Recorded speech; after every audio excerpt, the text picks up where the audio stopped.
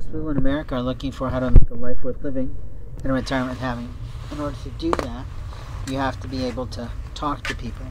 You have to be able to know what to say, how to network, how to get people interested enough to join your social online portal, and hopefully then you have to be willing to allow them to shine.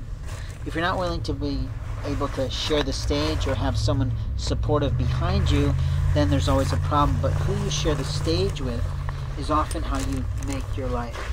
So let's look at what's been effective for you in marketing you. Did you do the right thing or did you choose the wrong partner to be marketed with? Do you have the right photos online or do you have the wrong photos online? More importantly, who's online watching you? So when I do these social media conversations for marketing minutes, what I can tell you is that a lot of people think they're social media directors and what they're doing. In general, however, you should not be rejecting anyone through any of your social networks because it's not wise. You don't know who they are. You've not talked to them. You're doing things based on a hunch, and that's just not practical. In America, we have rights to see things, to do things, to feel things, to be things, but there's always someone who wants to censor us. And the censorship of America is not your right. The abuse of someone's medical body is certainly not your right, and your desire to see someone naked without their lawful consent is never your right.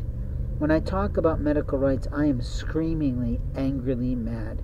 I am raging for everyone across America that there are people in police departments, people in medical clinics, and people in religious right groups that think they have the right to undress someone in the night, shave them, and burn them in some way with chemical warfare, cut them around their genitalia to mutilate them, and they think if they pay them $10, it's okay and it'll all be alright. The liars of America are abusing God's plans for people, and plans for, for God are not what you have the right to do.